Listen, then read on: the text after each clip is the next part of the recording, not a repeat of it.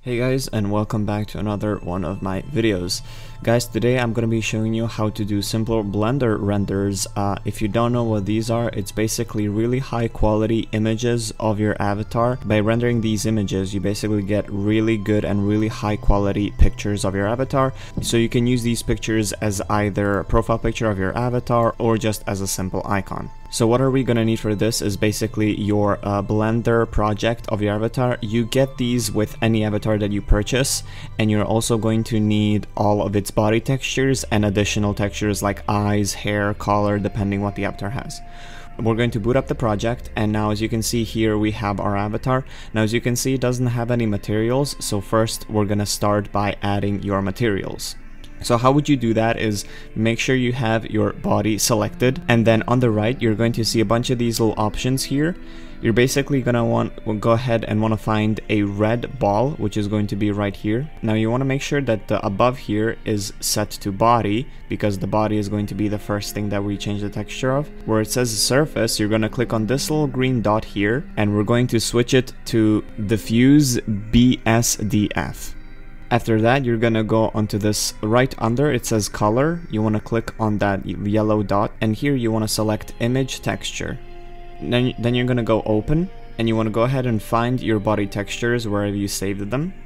Now as you can see the body still doesn't change color so you, what you want to do is click this second to last ball in the corner in the upper right corner and now as you can see our body textures appeared.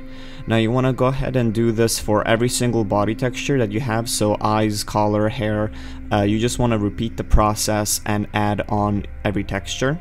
Uh, once you've done that your avatar should have textures now and this is how it should look like make sure that you have the second to last ball selected otherwise you're not going to be able to see your textures on the right side you should see a little camera option you want to click on that and you want to on render engine change it from Eevee to cycles and from device from CPU to GPU this basically means that Blender is going to use uh, your GPU rather than your CPU to render these images, which I highly recommend.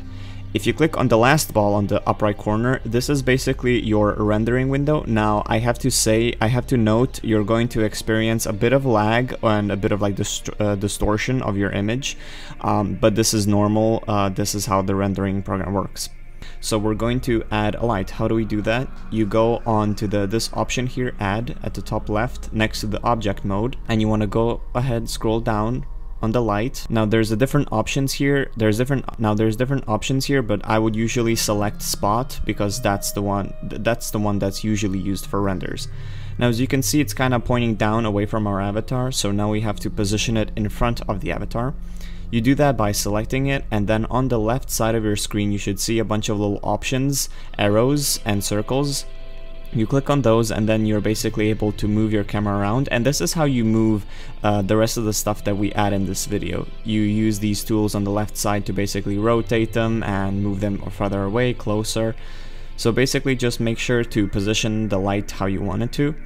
Now as you can see the light is not as strong so we're going to change that. You, you change that by basically on the right side you should see a little green light bulb right here and here you can basically change a bunch of stuff about the uh, about the light, like the color, but on the power we're going to put 150. Now as you can see it's a bit strong, but what we can do is just move the light further away. Now I recommend doing this instead of having a weaker light, make stronger light and then just move it away from your avatar.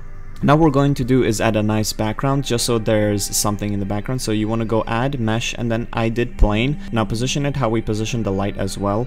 Um, I would suggest exiting out of the render mode, which is basically the second to last ball in the top right corner because you are going to experience some lag if you don't do so. Instead of object mode, make sure that it's set to pose mode. So now comes the most annoying part of rendering, or well, the most time consuming and the most annoying. You're, we're basically going to position the bones and you do this by selecting armature on the top right and then using one of the using one of the arrows or circles on the left side you're able to basically move uh, your arm around or your bones around. Now this is probably the most time consuming part of the render and this does take time because each individual bone you have to move uh, there is no gestures for like your arms or something. You have to position them how you want to. Now this can take quite some time and this is why usually renders are a bit more expensive is because they are just time consuming. But yes this is the most I would say annoying part about the render is just positioning your avatar and getting it into the pose that you want.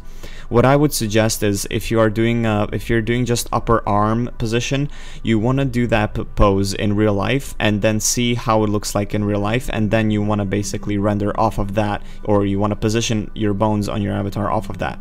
So in my case, I did the arm behind the head and what you can do is do that in real life or take a picture of yourself and then you can see how uh, it looks like in real life and then basically position it like that in game or in blender just so that it looks more realistic. So when positioning your bones make sure that instead of object mode you're into the pose mode in the top left corner so now we're going to go back onto the object mode and now we're going to change the facial expressions of your avatar.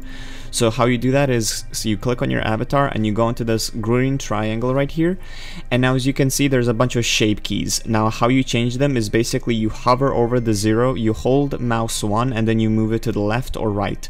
To the right if you want to enable it and to the left if you want to disable it. So now you want to go ahead and find uh, the blend shape that you want if it's either eyes open, eyes closed.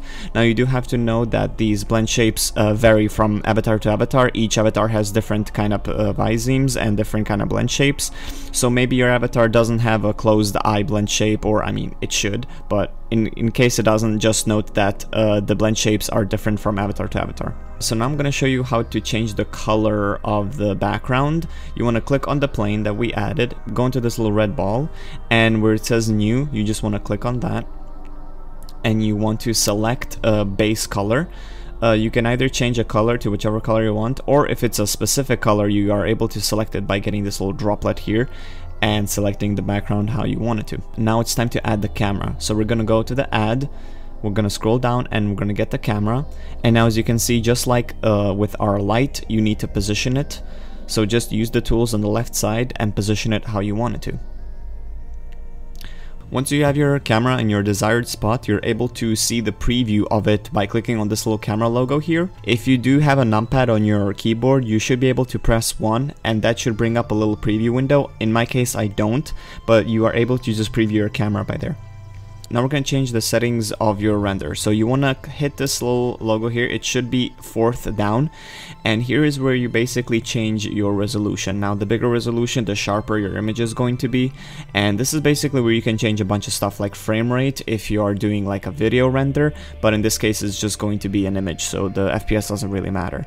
But basically you can, you can change here a bunch of stuff. And once you're happy with your settings, we can go back onto the render mode, which is the last ball that we have selected click on the little preview camera, make sure that everything is right, make sure that everything is how you wanted. You can still change the uh, resolution if you want or if you desire, and there's a bunch of options like light, sharpness, you can play around with it. But when you're ready to render, you just want to hit on this little render here and then render image. Now a little pop-up window should pop up, you just want to drag it over and here is your render. That is basically it uh, this is how a render should be. If you're not happy with it, you're able to, you know, always change it and always go back and change it. Um, if you just simply want to save it on your desktop, you go ahead by image and then save as desktop and then just want to name it how you want it to. And that is pretty much your render. Thank you guys so much for watching the video. I hope it was helpful. Special thanks goes to my good friend Nick. He's the one who helped me uh, and he's the one who showed me how to do this. Without him, this video wouldn't be possible. Uh, renders are really fun and I do de definitely recommend to learn them if you don't know how to do them. Um, if you're interested, I do do render commissions, simple render commissions uh, from 10 euros up to 30 plus euros. So feel free to add me on Discord and catch me up there if you are interested in a render commission. Thank you guys so much for watching, and I'll see you next time.